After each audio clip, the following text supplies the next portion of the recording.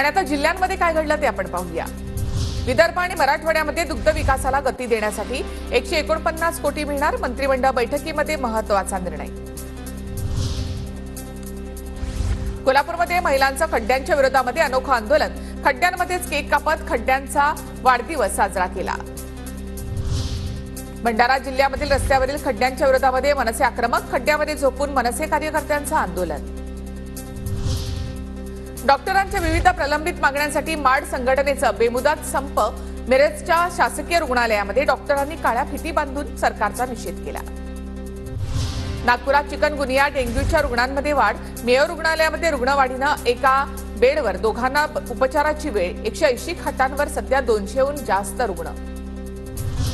रत्नागिरीमधील खोरनिंदको धबधब्यावर पावसाचा जोर ओसरला मात्र अद्यापही पर्यटकांना बंदी. पर्यटकांना बंदीमुळे व्यापाऱ्यांचं मात्र नुकसान. अहमदनगरच्या पुणतांब्याच्या ग्रामस्थांचं पंधरा ऑगस्टला रेल रोको आंदोलन. पुणतांबा रेल्वे स्थानकावर सर्व प्रवासी रेल्वेंना थांबा द्या ग्रामस्थांची मागणी. बीडमध्ये साडेचारशे फूट भव्य तिरंगा रॅलीचं आयोजन. शालेय विद्यार्थ्यांसह नागरिकांचा मोठ्या उत्साहानं सहभाग. धाराशिवच्या गणेश मूर्तींना आंध्र प्रदेशसह कर्नाटकात मोठी मागणी.